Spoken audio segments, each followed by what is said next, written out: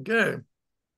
All right. As I was saying, uh, usually our WWALS president, Sarah Squires Jones, does the introductions, but she's had a complication, can't get here today. So I guess I'll do it. I'm John S. Quarterman. I'm the Suwannee Riverkeeper. What's that, you wonder? Well, that's a project and a staff position at WWALS Watershed Coalition, Inc. You can see the WWALS banner hanging up there. Oh, look, Heather's going to join us. And uh, WWALS has been around since 2012. Uh, we formed start uh, in response to things like Valdosta sewage, everybody's favorite topic. Turns out they're far from alone. And deadfalls and rivers, and now we do chainsaw cleanup. It's one of my favorites. And uh, in 2016, we applied to Waterkeeper Alliance to get a, res a uh, license for Suwannee Riverkeeper, for which you got to have a 501c, a grassroots following, a bunch of other stuff. And the Suwannee Riverkeeper is supposed to be the spokesperson for the waterways, which in this case is the 10,000 square miles of the Suwannee River Basin in Georgia and Florida. So lots of people can be members of Suwannee Riverkeeper or members of WWALS, same thing for that purpose. There's only one actual Suwannee Riverkeeper. Enough of that. Okay, so I'm happy to introduce Chris Adams, CB Adams, sometimes known as Turtle Man. Maybe he'll tell us why. And um, hmm, seems to be a bit in the shadows. Maybe we can get some light on the front of him there. Um, our, our assistant there in the workshop will probably attend to that. Move some I stuff. hear the assistant now. Okay, so I first ran into Chris, I think it was at uh, General Coffee State Park, where I think he was doing a presentation on Native Americans. And he does a lot of that. He does presentations, Native Americans, settlers, reenactments, things of that sort. He'll tell us what he wants to about that. And he's paddled with us several times at Banks Lake on our full moon paddles to go out to see the bats coming out of cypress trees. And he was a featured speaker last year at our gala, the WWALS River Review, and he has graciously uh, agreed to come, and he did come. He drove an hour to get here to give a presentation today about some of his favorite topics having to do with settlers, Native, Native Americans, and how they used waterways. So I'd say that's enough of an invitation. There you go, Chris. I'll take it and run with it. So I tell people this is my usual spiel when I do presentations and things. I'm a 10th generation South Georgian. Uh, lived in Wiregrass, Georgia my whole life, middle and central South Georgia. My family runs all the way from the Ocmulgee River down to the Okefenokee Swamp and I've always had a strong interest in the history of this place. You know, as a naturalist and a historian, I find it hard to dissect the landscape from the people and the people from the landscape. To tell the full story, you talk about how land shapes people and you talk about how people shape the land. And I, I think what we're going to discuss today is a, a pretty interesting topic that covers what I'm conveying there. Uh, we're going to be talking a little bit about the people living along the Swanee Basin from the Okefenokee all the way down to the Gulf. And where this story starts at is about 10,000 years ago. Anywhere from 10 to 14,000 years ago, people, early people, Paleo Indians, started to move into what we now inhabit, this part of South Georgia and Northern Florida. They relied heavily on the springs and watersheds down there places like Okefenokee were still forming, and they really didn't hold up there for very long. So there's not a lot of Paleo Indian sites in this part of the South. We don't see an influx of people until really the middle to late Archaic period, and that's sometime around 10 to 3,000 years ago. Those people that settled along our waterways the reason these waterways are important, rivers like the Suwannee, the Withlacoochee, the Alapaha, they represent highways essentially. Where there was water, there was food, there was nourishment for these people, and they followed those highways to those points. For example, up on the Ocmulgee River and the Altamaha, those people were living in northern parts of the state, central parts of the state, But by the fall of the year, they started to come down south toward the coast, making winter camp. And what they did there is they gathered the hickory and the swamp chestnuts. They would ground those in the mill and they would set up fish camps. They relied heavily on our waterways for that. Uh, really into the woodland period is my my favorite period. Right around that same time is when we start to find examples of pottery showing up. Uh, pottery here in Georgia is some of the oldest found anywhere in North America. During the late uh-huh. Archaic period, around the time of say 4,400 years ago or so, if I remember correct, Stallings Island on the Savannah River, that's where some of the oldest pottery has been found in the country. So they, um, uh, uh, so, someone has background noise. If you're not speaking, could you please mute? Yeah, there's a little interference there. I don't know which which camera it's coming from here. I got it. You good? All right. But during the woodland period, there was a culture of people specific to the Suwannee Valley and at this time, you have to remember there's not written history on these people. A lot of what we know about them comes from archaeological evidence. What the archaeologists find, they base their data, their information on those findings. So we don't know very little about their religious practices. We don't really know about their language, but we know the basic things, which include the fact that they utilize these bodies of water as their means of transportation. You know, when you were walking through the woods, even today, an unburned tract, say portions of Okefenokee, John, I know you've been out there and seen that. You're head high in brush and weeds and vines. It's hard to get through some of that stuff. So these people would not have gone through that. The easiest path to get from point A to point B was following the edge of the river. So I like to think of it when I'm walking the banks of the Swanee, north side or south side of the river, those same little footpaths that game and that we follow today, that recreators, when they go to swim there, follow, those are essentially the same paths that these early native people followed because it was a path of least resistance. But during the 1990s, archaeologists started describing the group of people that basically inhabited along the Suwannee River as the Suwannee Valley culture.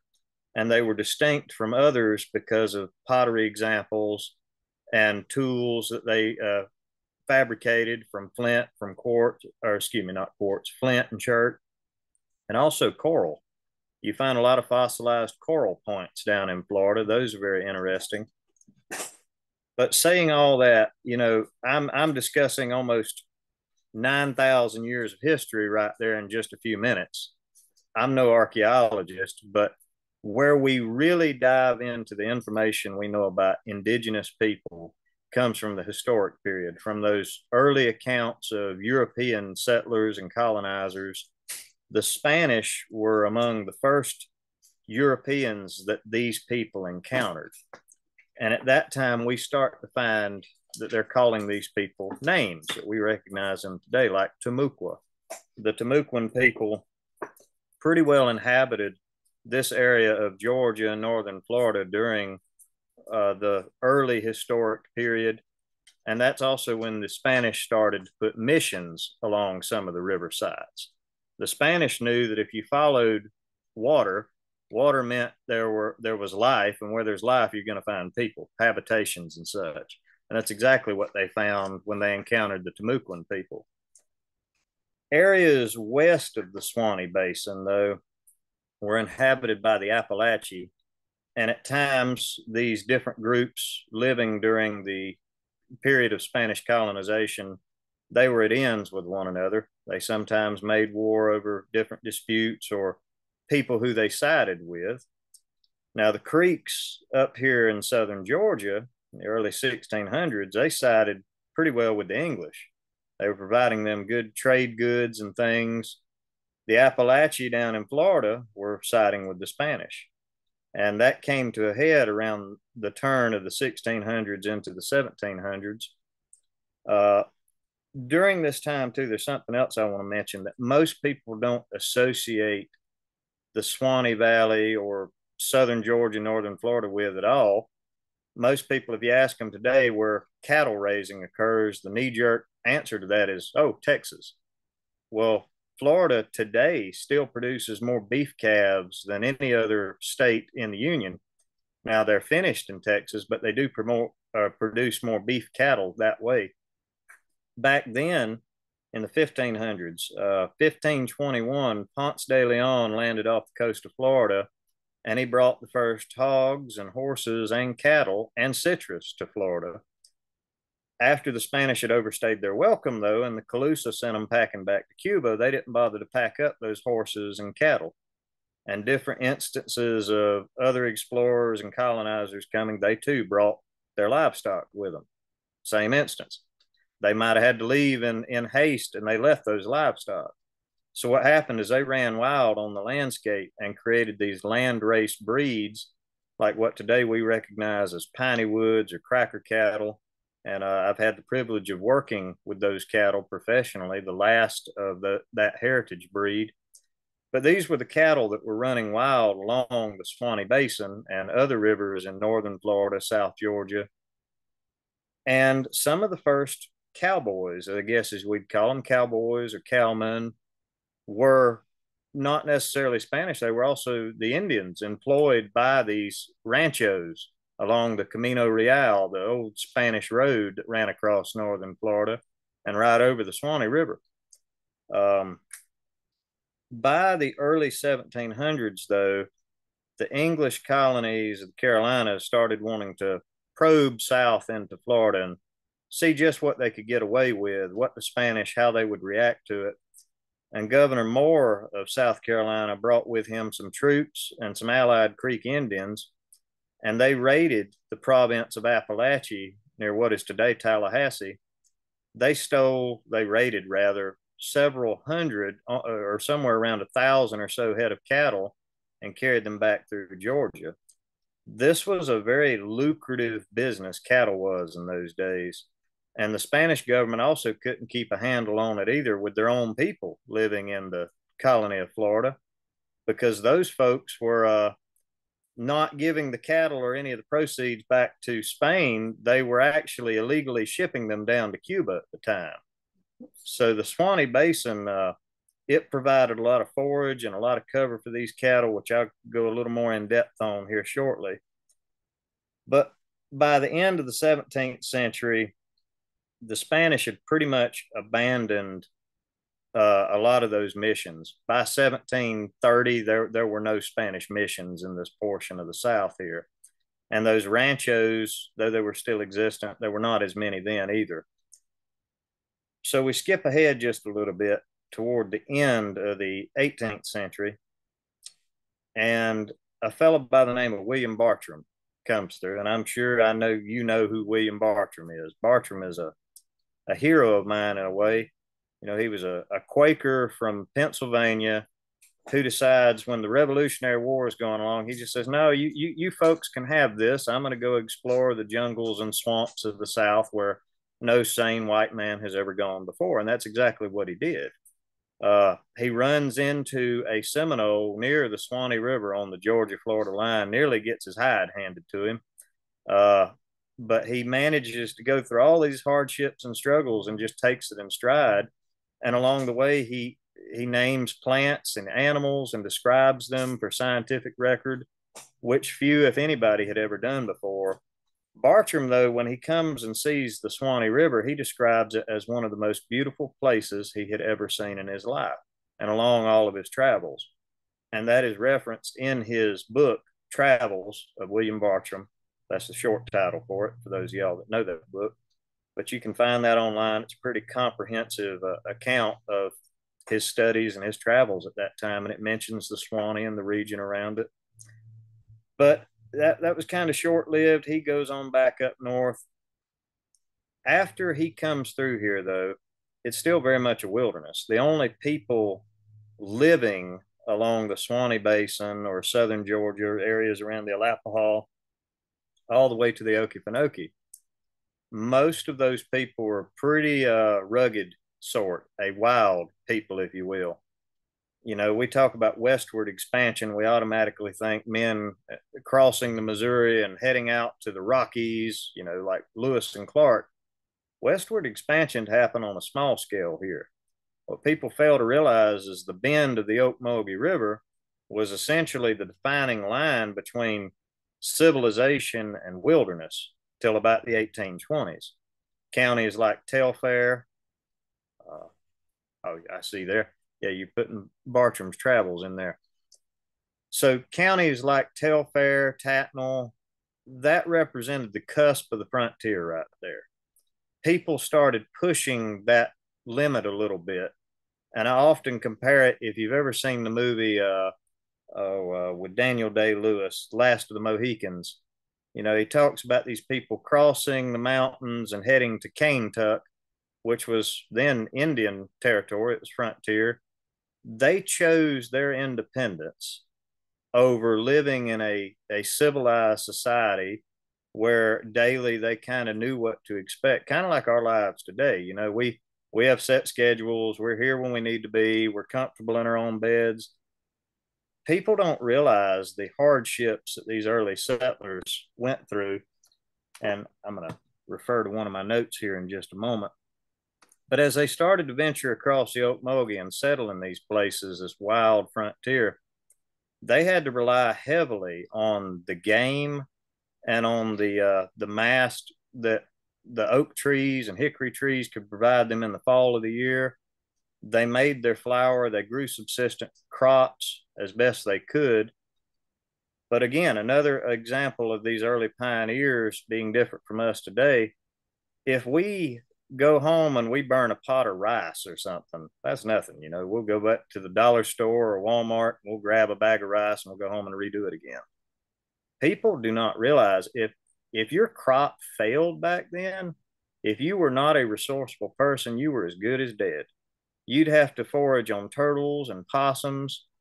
And at that time, too, they had to tweak their religious doctrine a little bit, too. You know, there's some old uh, Old Testament scripture that would prevent earlier pioneers from wanting to eat things like catfish or things that quote creepeth upon the earth. I'm sorry, when you uh when you starving, you'll quickly learn how to eat alligator or turtle. And that's why today at a Baptist fish fry, you won't go without catfish on the table. And you won't go without seeing uh things like alligator appear every now and again. But back then, let me see if I can refer to my note here. Y'all bear with me just a minute. I've got it on my phone here and I turned it off. But these people, as they started to come in, a lot of the outsiders knew them as crackers. And to kind of dispel some of the myths surrounding that, cracker is not necessarily a derogatory term. It's all in how you use it. I regard myself as one. And a lot of people think that the term is uh, equated with the term redneck. It's not. Those are two different things. Cracker as was first described by William Shakespeare in his play King John, 1594. He quotes, What cracker is this who deafs our ears with an abundance of superfluous breath? In short, he's saying, Who is this won't hush up?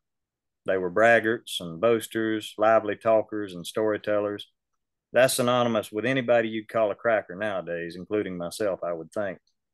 But the way I use it is to describe a people whose lineage goes back as far as they can remember, as far as stories can recall. 10 generations in one place is a long period of time. Your people, my people, are just as much a part of this landscape as the plants and the animals are at this point. We're interwoven into that tapestry, the story of this place. So, cracker to me is not a derogatory term if it's used the way I convey it.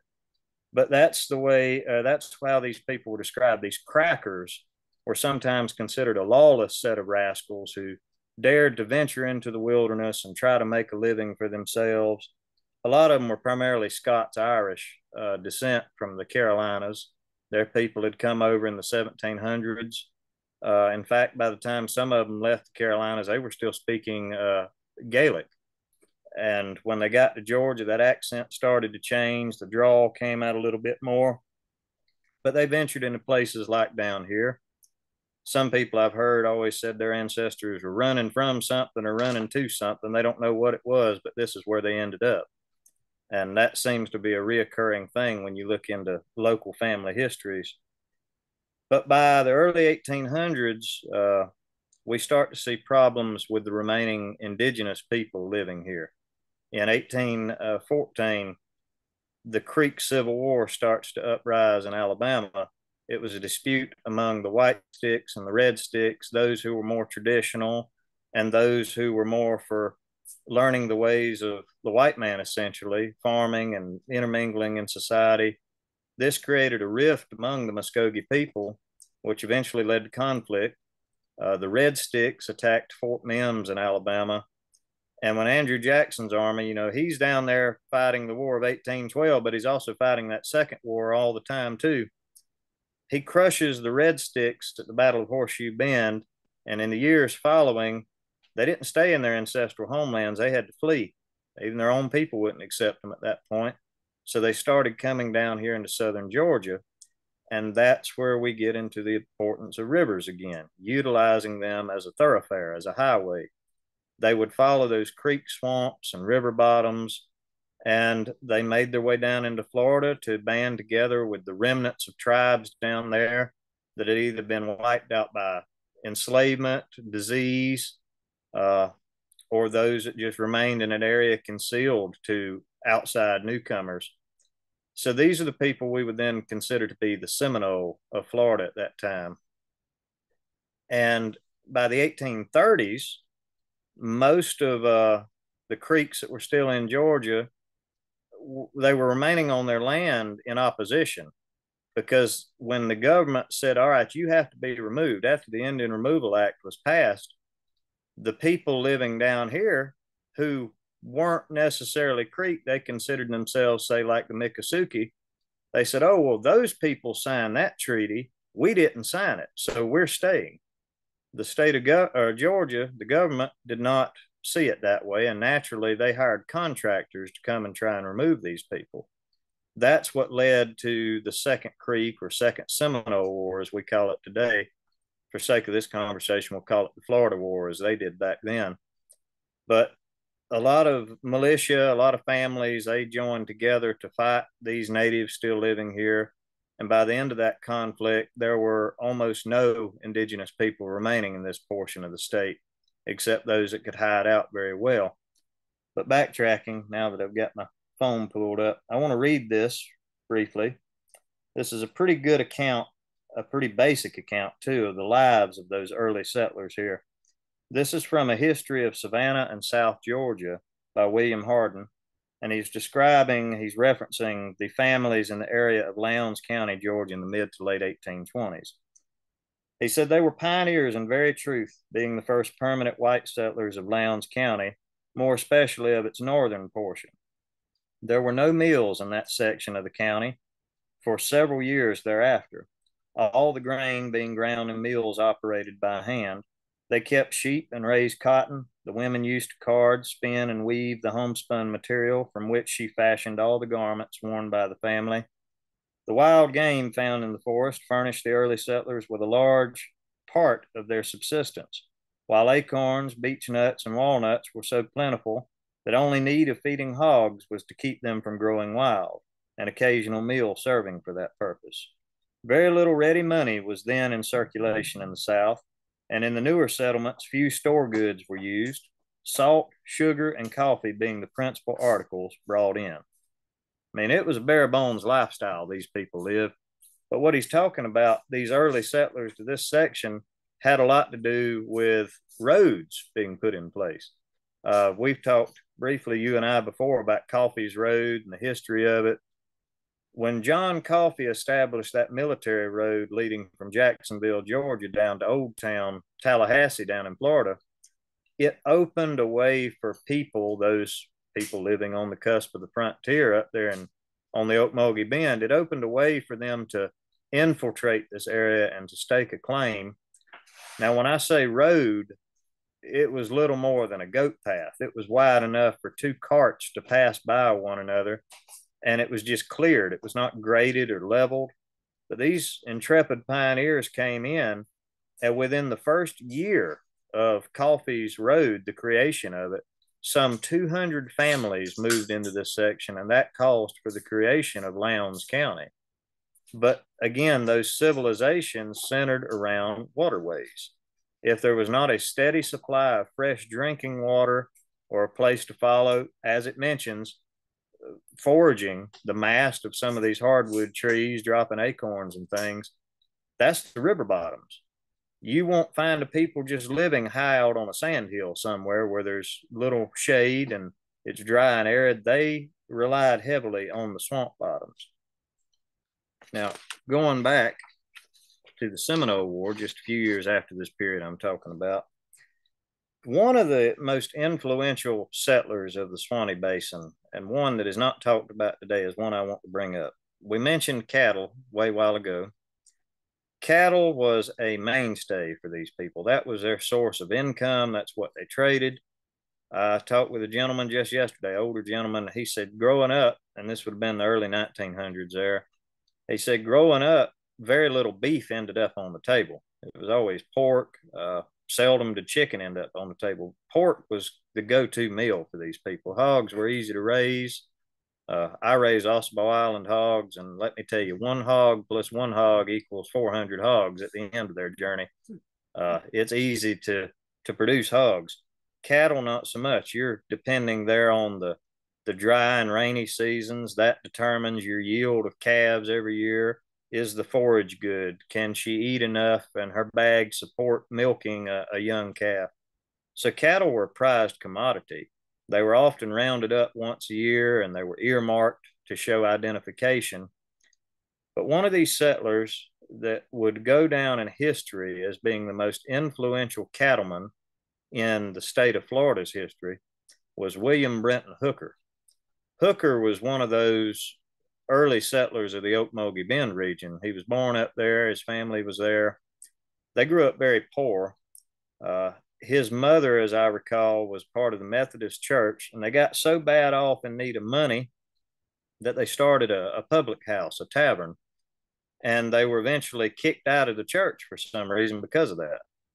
They were later relocated. They came down to the newly formed Ware County, where he got his start uh, his affluent start as far as a uh, sheriff, a public office. He was the second sheriff of Ware County then. And a little sidebar here Billy's Lake and Billy's Island in the swamp are named for a gentleman by the name of Indian Billy, who was a horse trader, who was killed by some fellows up near the north end of the swamp. They looked to rob him and do him in. This would have been unheard of at that time, but Sheriff Hooker and a posse of all white men tried to trail down the killers of this dead Indian man, further proving that some relations between white settlements and their indigenous neighbors were not often always bad. He must have been a well respected, well liked member of that community. But Hooker, as he establishes himself as a law enforcement public official, he then Seminole War moved in Florida. 1842, at the end of the uh, Seminole War, Congress passes the Armed Occupation Act, which pretty much guaranteed 160 acres of land to any settler going into Florida as long as they would sign up for militia duty. And there were some conditions to this being a U.S. citizen or intended citizen, settling and cultivating at least five acres of land in eastern or southern Florida for five years, building a house on the land within the first year, not claiming land within two miles of a military post, being willing to provide militia service if needed. Those were the conditions. Within a few years of that Occupation Act, Florida's population soared to around 60,000 people, which allowed for it to achieve statehood in 1845. So this was a big deal. Hooker was a part of that. But the reason I bring him up, though, again, going back to cattle raising, up near Jennings, Florida, and starting that area all the way down. There's also the Swanee River State Park, I believe it's right down there. There's a Civil War fortification. They talk about the ferry there. That was one of the areas where Hooker had some cow pens. By 1860, this man had cow pens from one end of the Swanee down to the other. And I like this story. It's kind of an underdog story. He grows up poor. He gets kicked out of the church with his family, moves to a new place, becomes a sheriff, becomes a cattleman, and he's trying to achieve a, a foothold in politics. And that's how you did it at that time. You amassed land and livestock. That was it. Hooker by 1860 had amassed 10,000 head of cattle from one end of the Swanee Basin to the other. Ear notched them all for his own, built his own cow pens. And one of the reasons why he doesn't get the credit for this is in 1860, a man by the name of Jacob Summerlin brokers a deal to purchase his cattle as he's getting out of it. Summerlin sort of takes the credit for being the cracker cow king of Florida. Now, given Summerlin credit, he was a cattleman, he knew cattle, but he bought a vast majority of his that drove him into prominence. He didn't start like Hooker did. Hooker is a, a monumental figure in all of this as we're talking about it. Moving on from that, well, we got a little sound there.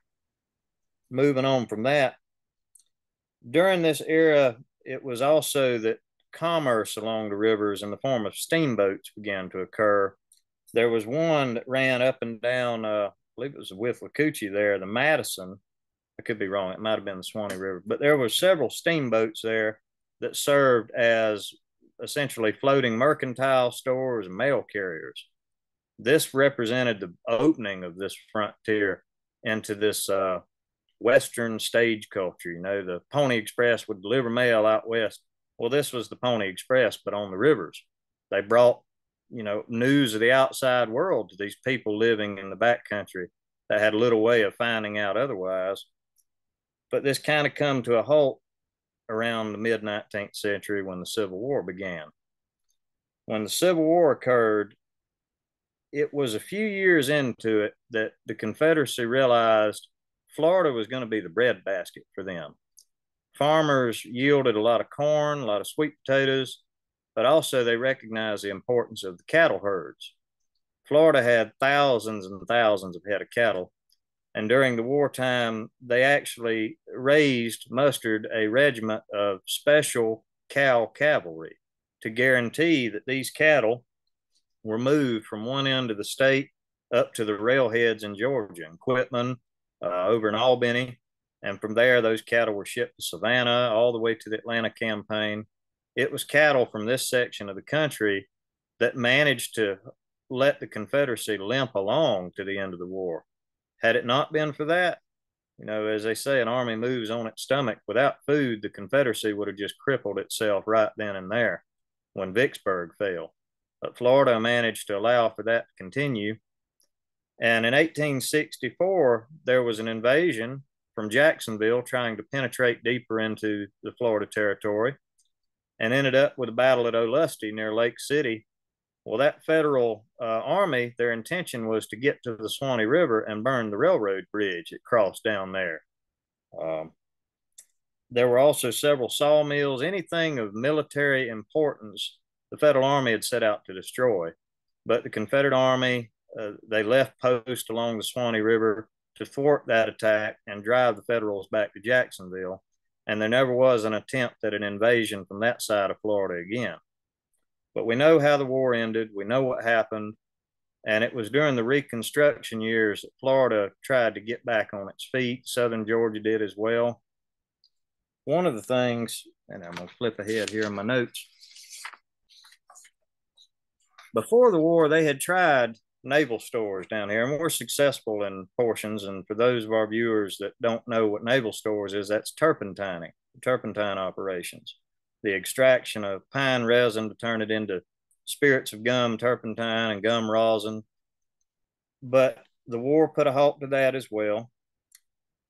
After the war, though, you've got an influx of skilled laborers in another part of the country, the Carolinas, and these were primarily now freedmen the former slaves, they were skilled laborers because they had been employed in the extraction of gum in the Carolinas before the war. And the method that they used to extract the gum was called boxing.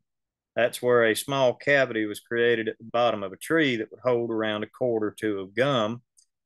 Well, if you put a box around the bottom of a pine tree, what you do is you girdle it. You're not allowing for the nutrients to flow from the buttress all the way to the crown. That ultimately kills the tree in time. So by war's end, they had exhausted the yellow pine timber in the Carolinas. So naturally, now they're free. They don't have jobs where they're at, so they come south where the work is. All along this area, the Suwannee Basin over to the Okefenokee and southwest Georgia, this was naval stores country. It started off slow, but by the turn of the 20th century, there, we had more turpentine stills in southern Georgia and northern Florida than anywhere else in the deep south that the industry was going on. And those men, they worked they worked tirelessly. It was terribly hard work out in the hot sun during the spring, summer, and even early fall months, dipping gum, extracting it, carrying it to the stills. I've got a few facts here I want to read off. So the timberland back then could also be purchased for a dollar twenty-five an acre. It was dirt cheap, and the naval stores industry was driving commerce along down here. But then the timber industry picked up. The trees were being felled at an alarming rate. We know that areas along the Suwannee and other areas, other rivers here in this part of South Georgia, they floated log rafts down to the mills. The New South era sort of shifted how people made money, how we existed down here. We go from those subsistence farmers that lived in the woodlands to now suddenly we've got people working regular jobs, getting paid for it, hard money passing from hand to hand. Paved roadways, too, led to a different kind of newcomer now vacationing in this part of the South. We had roads like 441, the Woodpecker Route, a lot of snowbirds, you know, started to travel down here and vacation in Florida. And that shifted the way people worked, what they did. Roadways meant bigger towns popped up. This idea of floating steamboats down the river, getting mail or news to these people, that was almost non existent by World War II. Following World War II, our rivers, they ceased to be hubs of activity as they had been no more did steamboats carry the goods, uh, nor did the timber rafts float down to mills. Rivers like the Suwannee, the Alapaha, the Withlacoochee, along with smaller creeks and streams, just became hubs of activity for anglers and sportsmen and people for recreation. It, it was a change in time, certainly at the 20th century.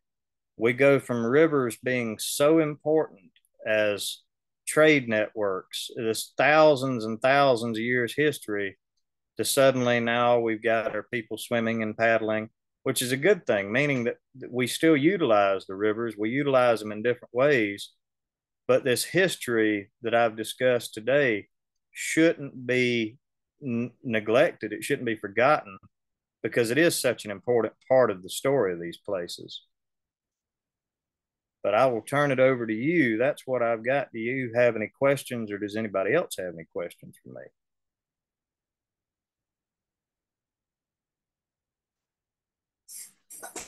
I have a question. All right. I think that's Miss Heather right there. What you got? Yes, you can uh, hear my accent. Um, I right um, on the Alapaha River where uh, I live. Um, which is near Alapaha, there is a sunken barge that was uh, used. Now, this part of the river is not navigable most of the year. And I don't understand how there would have been enough water in the river to justify having a barge or to use the rivers to float um, uh, lumber down uh, downstream to the mills. How can you explain that, or how extensively were these smaller streams used uh, for commerce and travel? Well, believe it or not, they were used more than we think of. Uh, it depended on the spring and fall freshets. When when water levels would come up during the wet seasons, I believe Ward's history of Coffee County talks about this. Farmers supplemented their income back then uh, they cut what they called scab timber, which was just basic, you know, raw timber, and they piled it together as quickly as they could. When the water levels came up, they would use mules and oxen to drag those logs down to the edge. And even some of our smaller streams, creeks today, as you know, were probably a bit more clear back then. Uh, we've let a lot of things grow up. Things look differently in the last century and a half, but it's possible that on those little tributaries of rivers like the Alapaha, some farmer had in his mind that he said, I'm going to float just a few logs down, try and get a little hard money. And the river had not come up enough yet, or it had come up and it hit a snag and it just beached right there. But there are examples of this all across South Georgia, not just exclusively here. Uh, it could be that, or it could have been some other industry going on there, maybe that I'm not aware of. They could have had a barge out there doing work. When you describe it as a barge, are you talking just logs beached down there or an actual watercraft of some kind? An actual watercraft. Apparently, they when they launched it, it sank immediately. That uh, you know, I, I couldn't tell you on that. I'd have to do a little more research myself, but you'll have to come visit. Yeah, I'll have to come look at it. I'd like to see that myself. John, you got something? Uh, we need to do a chainsaw cleanup in that stretch anyway. Let's uh let's do that and go find that thing. Take some pictures at least. There you go. Give me a I've reason. got to get out some of the house. pictures. You got pictures, you say? Yes, Uh, can you send them also where it is? Sure. And then we could go look at it. I'm always up for a treasure hunt. That's my kind of treasure. I could care less about gold or silver. Now, you show me an old sunken boat in a river around here, I'm very interested. Low water level. hmm So it's somewhere along your river frontage? Yes.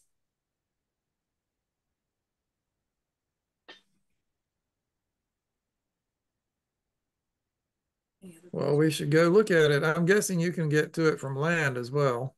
Yes. Easy. Hmm. You can drive right up next to it. Oh, Got some other folks tuned Well- in. Anybody else have a question?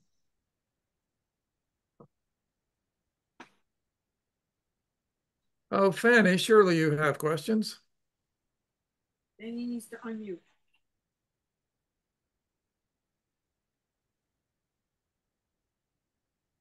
Most of what I've talked about today, you know, we we spend 45 minutes talking about this sort of stuff. There are topics included and embedded in my notes here. You could spend two or three hours just discussing anywhere from indigenous history to the times during the Civil War, the Turpentine era. There's so much history here in South Georgia, and I, I can get off chasing a hundred rabbits talking about it, but they're all interesting stories in this. You could easily do an hour just talking about uh, Deserters Island and the Okefenokee Deserters uh, Landing uh, up on the upper Alapaha, up, up above where Heather is and so forth.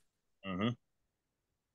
Those river swamps were vital to the deserters during the war. And what a lot of people don't realize is South Georgia had the highest concentration of Confederate deserters anywhere in the Confederacy during the Civil War.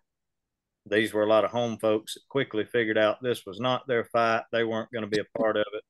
And they got away from it as best they knew how. They went to those places like the Seminole and the Creeks did during the Seminole War. They knew how to hide because they had years prior to that chased people through it, hidden in it themselves. They knew how to navigate these river swamps. It, it took me about five minutes to unmute, but this is totally fascinating to me, John. And you know it is because that is our history. And I am going to have to go back and dissect this and probably write a whole book of questions about what I've, I've learned. And, this is this is so fascinating that it's happening today when Brooks County is meeting about our solar problem. And wouldn't you know that the coffee in Jackson Road is at the heart of this dispute with the Mhm. solar solar problem? And uh, my ancestors were the ones who came in with them in 1818 and 1825 and uh, with the Coffee Road, Sion Hall, and Gorntos and all of those. So this is really, really uh, fascinating to me. And when you mention about uh, Quitman and and uh, and and that, we I've heard this. I've heard that all my life. I'm 71, and I've heard that all my life. I've got tons of questions, but I've I've got to write them down. That's all right. I appreciate positive feedback, but you you get back to me anytime you want me to answer some of those, and I'll do my best. Oh, I will. And that is the first time I've heard that explanation about cracker. I'd never heard that one before. I heard the one about the, the sound, the, the sound of the whip and everything, but this mm-hmm. this is my first time hearing that that version of it. and that's a part of it too. I, I, when I do presentations on that, I'll, I'll, explain the Shakespearean origin, the word crake, which is an old Gaelic word, but mm-hmm. that story about the cow whip. Uh, mm-hmm.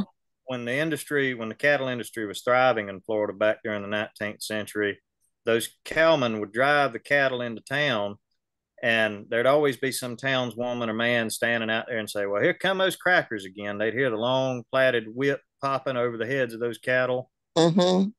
There is also another or- origin story, which I didn't include. In the early 1800s, Florida was still Spanish up until 1821 when it was annexed to the United States. But the Spanish did not like the idea of these rascals coming over the state line and living in Spanish Florida. It was similar to the environment out in Texas in the 1830s.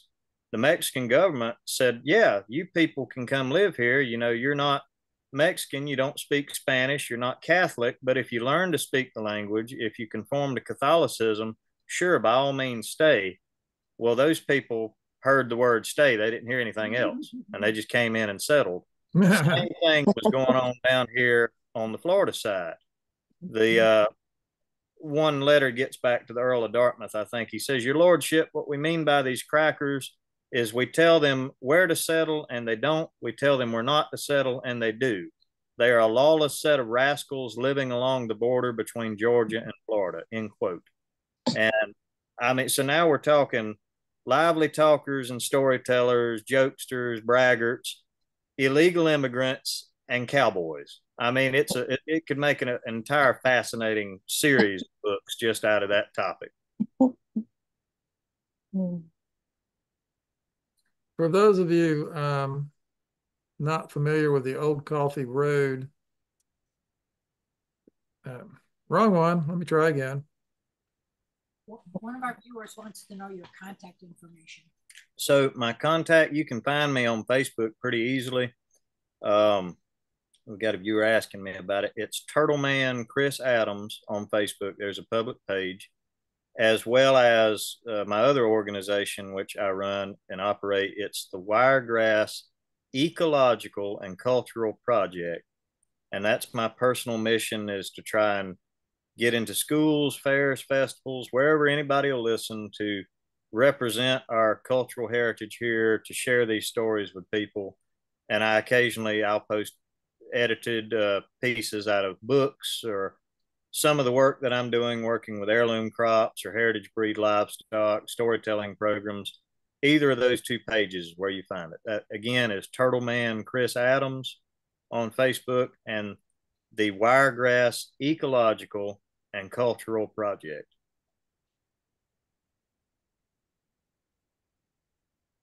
Thank you so much, Chris. This has been fascinating. You're quite welcome. I'm glad.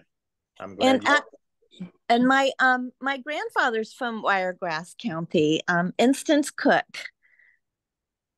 Cook. That's yep. That's an old name down here. yeah, yeah. They've been there for a super long time. So I'm going to actually look up the Wiregrass Ecological and Cultural site so I can join that. Is sounds good to me. I, am glad people follow along. They little they learn a little bit they didn't even know they needed to know. Thank you so much. I sent um, uh, photos of that uh, sunken barge to John if you want a screen share. Otherwise, um, you can use it for later um, planning a trip. All right. And uh, Turtle Man's contact is in the chat. This other contact is the Wiregrass Ecological and Cultural Project. Um, let's see what Heather sent.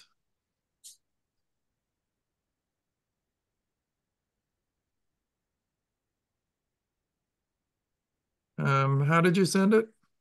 Email. Okay.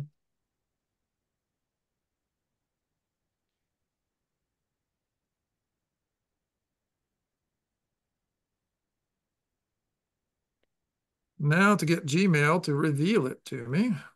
Oh, okay. It's at jsq at quarterman.org. Yeah. I can't screen share Um, from me, can I? I can let you screen share. But you can let's- use let's it later anyway. Let's organize that. One moment.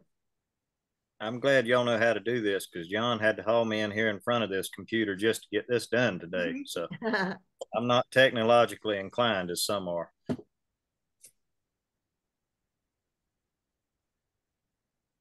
John, this is Mark Stalvey. I had a I had a question. Um, you know, we're a couple miles south of the Coffee Road at my place, and are are you guys aware of any uh, skirmishes that happened along the Coffee Road, um, along the uh, Futch's Ferry area? Um, Not off of the top of my head. Uh, near the Coffee Road, yeah, there were plenty of skirmishes during the Indian Wars near the Coffee Road, but I don't just recollect one right near Futch's Ferry. I could be wrong, but um, I know Brushy Creek, Cow Creek. There was an engagement up near Ray's Mill Pond. It was very sporadic during the years of 30, 1836 and 37 uh, when the primary conflict took place. And then there were some instances after some Seminole warriors had taken up in the Okefenokee in 38, but then most of the military action was then centered around the swamp itself. Um, but I'll have to look Uh, Heather has shared a picture. Heather has shared a picture of the barge, I believe. Yes. Okay, quit sharing. We're looking at your picture. Yes, well, you've seen it. We're I'll have to get out there and look at that in person, I think, to be able to tell a little bit more about what I'm seeing here. But that's, yeah, that doesn't make sense to me why there would be a barge in that small of a channel there. It, it also looks like it's attached to the shore. It looks more like footings of a dam or something. Yeah, that's it. The chances are it's filled in a lot since then. Yeah. Um, oh, sorry, I hit stop. You got it anyway. Chris, I sent it to you as well. All right. I appreciate that. I'll take a look at it and we'll try and get an answer here pretty shortly then. That'll be good.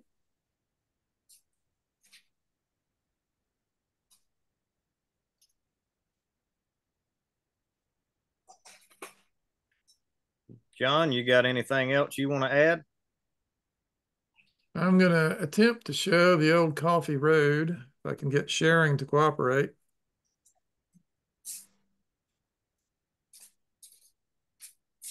while he's doing that, to explain just a little bit more about Coffee's Road, it was apparent during the conflicts with the Creeks in the early 1800s and when Jackson's army, Andrew Jackson's army, came down and pretty much invaded Florida, when the troops got to these points beyond civilization, it was very hard to get munitions, supplies, provisions to them.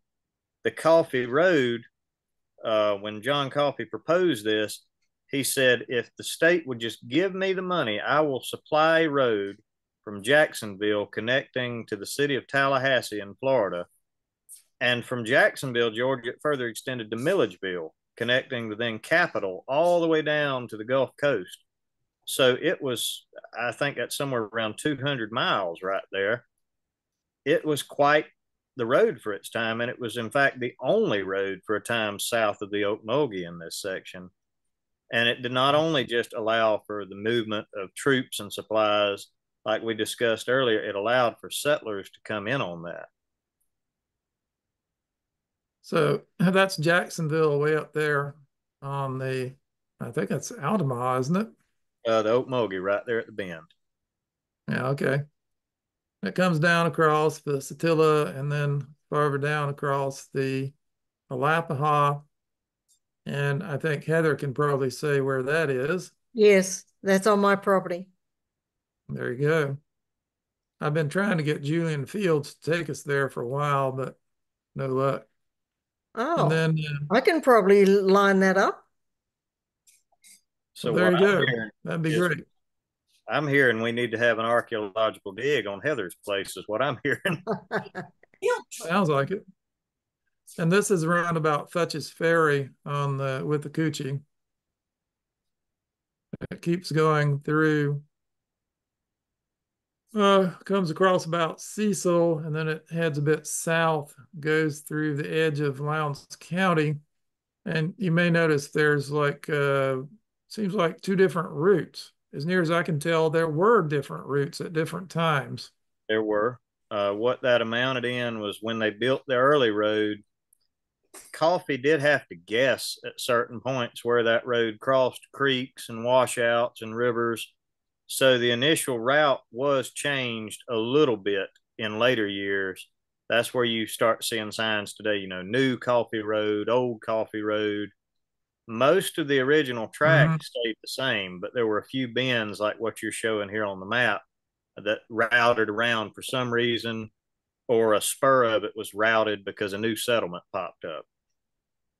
Right. So it either went across where Georgia 122 is, across the Little River, or across the Morven Road, or different planes at different times. And eventually it gets over into Brooks County around the area which Fannie is very familiar with.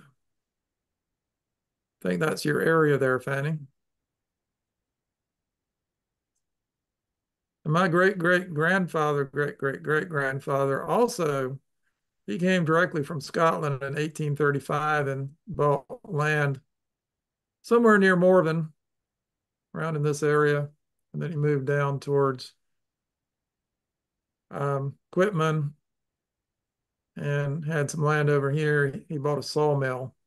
So, anyway, it continued on over through Barwick and to Thomasville and then down towards Tallahassee, like you said. So it was quite the project.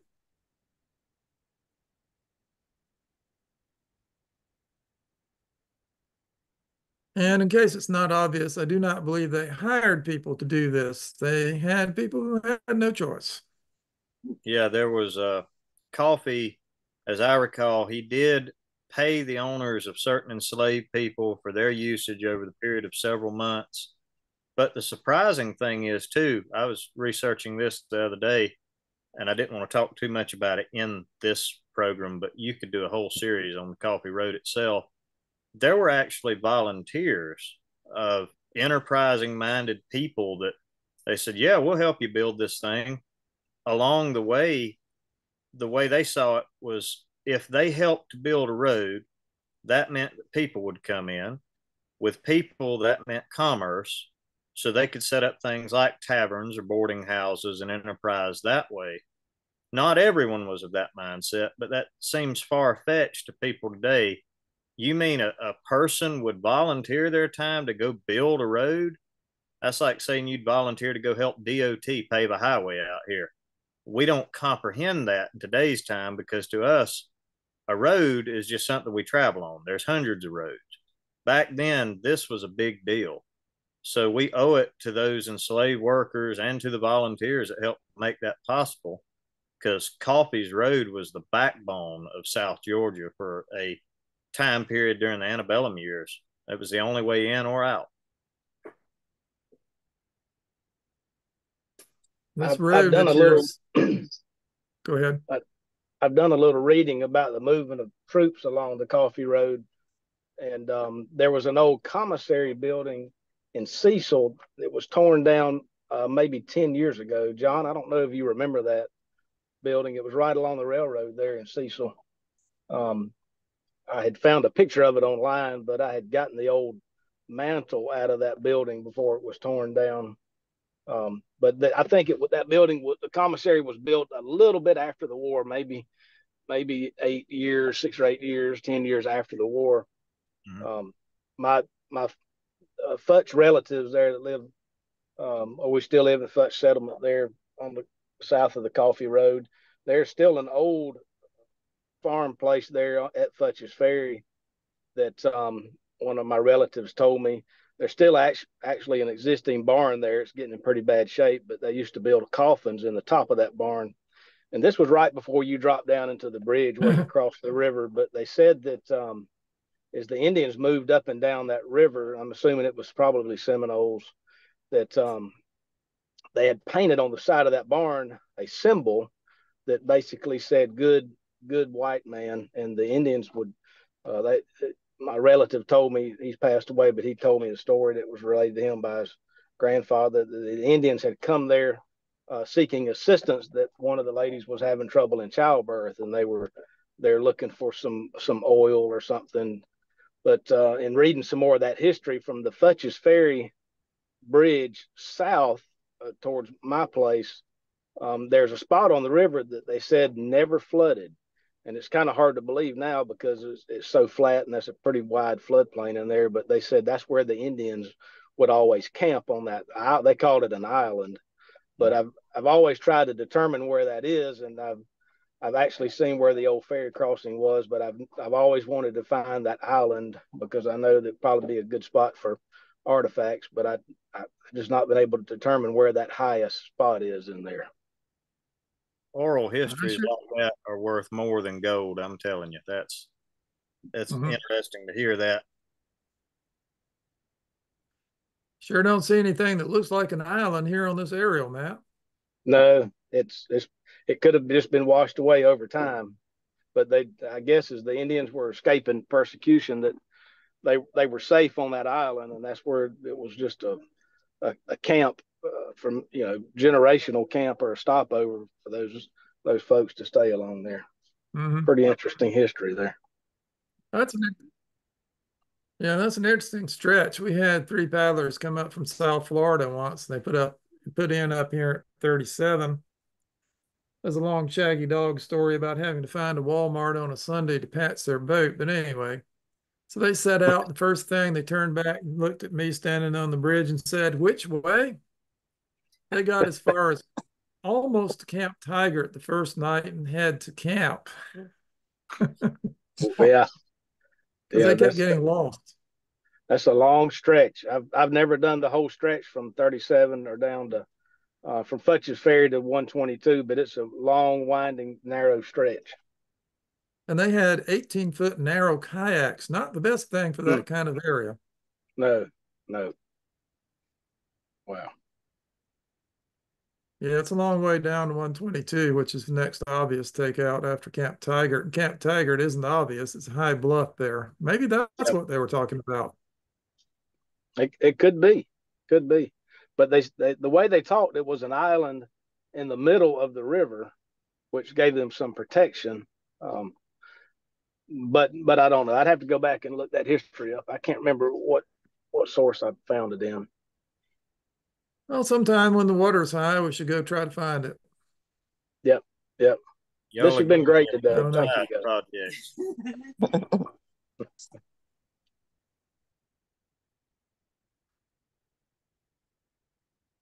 um, could everybody turn your camera on for a moment so we can get a picture?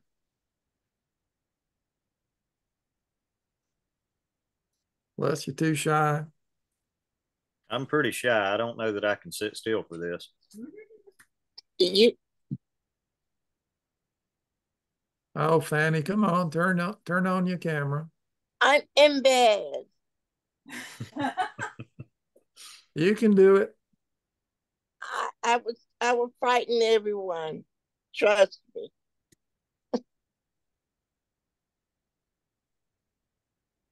well, we got several. Uh We got several. I'll get a picture this much.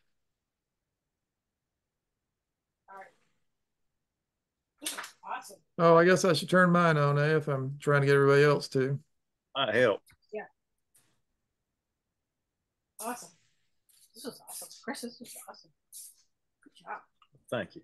I'm gonna do one other screen share and then I think we're probably done. If I can get screen share to work.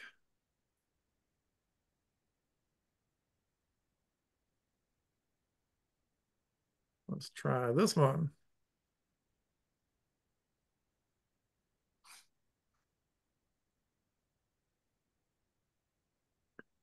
You look so distinguished there at the podium.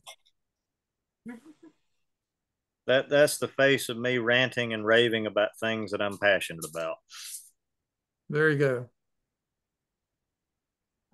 All right. Well, I sure appreciate it. Sounds like everybody else does too.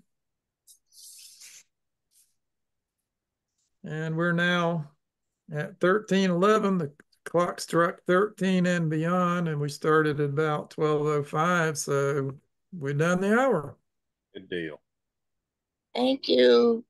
Thank you very much. Bye. Thank you, everybody. John, thank you so much for everything you do to protect the rivers. Well, thank you. And you know, we can't do it without everybody else. Grassroots following, by which we mean participants. You know, for example, Janet, who managed to jump off before I could say this, she pretty much completely organized the silent auction for the recent gala. And she's busy in the events committee and she does most of the membership committee organizing. So volunteers, that's what it's about. Definitely. We're retiring um, next year, so I'm hoping to be able to volunteer more. There you go. All right, I've got another webinar coming up on October 10th. It's the assistant manager of the Okefenokee National Wildlife Refuge. He's going to talk about water and wilderness and wildlife on the Suwannee River and the three refuges on the river. That'll be a good one. Yep. All righty. See you there. Bye for now.